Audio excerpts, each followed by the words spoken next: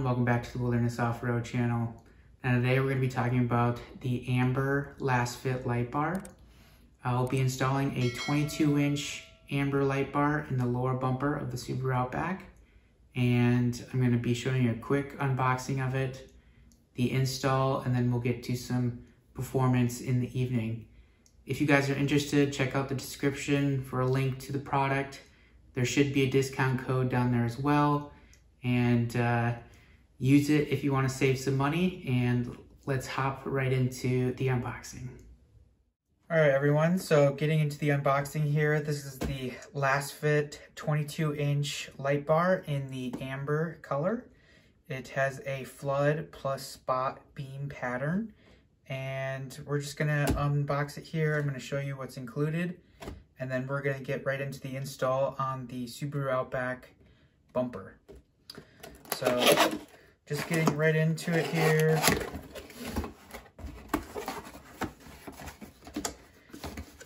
Right away you have the light bar and then on either side here we have the bottom brackets and the side brackets. And so obviously these brackets are the ones on the very ends of the light bar and then the bottom brackets uh, actually go on the back of the light bar anywhere in between um, and then it mounts on the bottom. It kind of curves around the light bar. And so you can pick the location of uh, this mount rather than having it on the ends. So that's it for what's in the box. And getting to the light.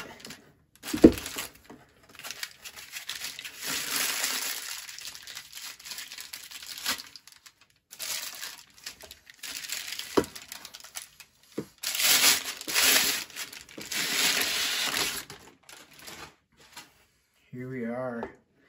Woo. Is gonna be great on the Outback.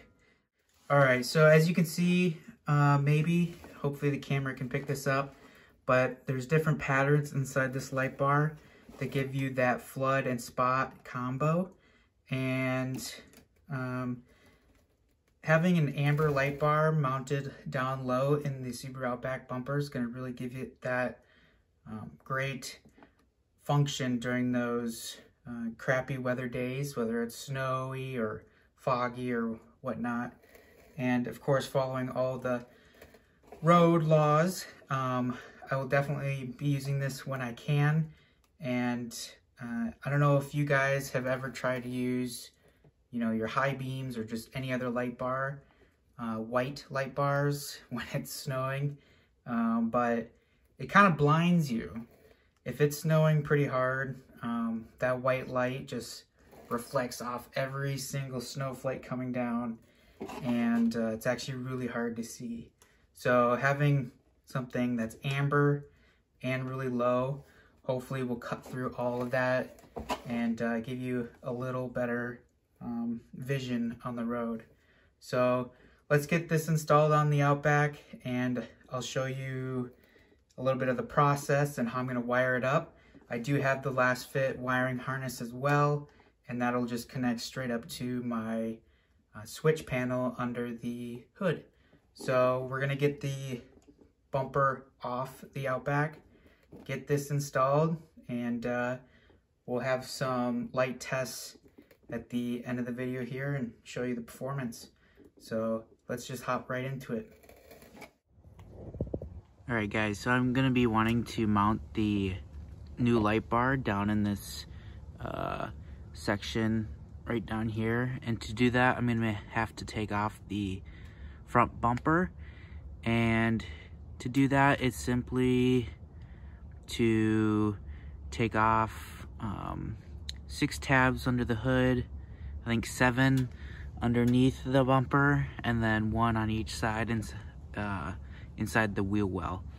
So once I get those tabs undone, you gently pull on the bumper and it should pop off and then you can disconnect the fog lights um, from there and then fully take off the bumper and then we'll work on mounting the light bar and centering it uh, right right inside that gap All right, the bumper is completely removed now. As you can see right here is where I'm gonna be mounting the light bar. Um, I gotta go grab that real quick. We're gonna center it up, drill some holes and bolt it down. All right, so right now I'm working on centering the light bar, seeing if these side brackets are gonna work. I ended up um, reversing them to obviously get this tab inward because this 22 inch length fits just perfectly in between these bolting mounts on the bumper. Um, I think this will just work perfectly. And I mean, just in case though, I do have these, which could obviously mount anywhere in between on the rear. But I think these side brackets are gonna work just fine. All right, so I got the two sides mounted down. Um, it's a little tricky, but I'm gonna show you extremely lucky, but underneath where I mounted are all these holes or squares and it just happened that both spots where I drilled are exactly inside one of these little square holes um, on both sides. So it's gonna be a little bit of a trick to tighten down totally, but just gotta take it one turn at a time and be patient, probably with a set of pliers and a wrench on top before tightening these side brackets down 100%. I'm gonna make sure the bar fits uh, and kind of have everything kind of loose and loosely mounted and then we'll uh, crank everything down. All right, so the bar is totally mounted in now. Um, it's very solid and shouldn't be going anywhere, but now we have to get to a wiring.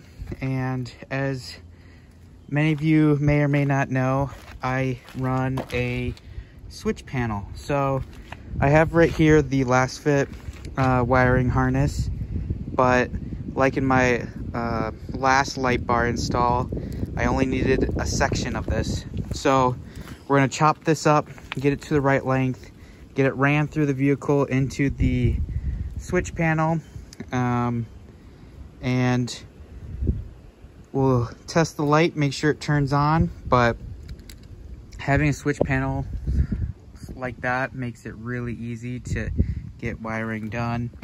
Uh, so this shouldn't take too long. I'm just gonna have to figure out where to zip tie the wire, but with the bumper off, it's it really shouldn't be too hard. Um, and then we'll have the privilege of trying to get everything back together.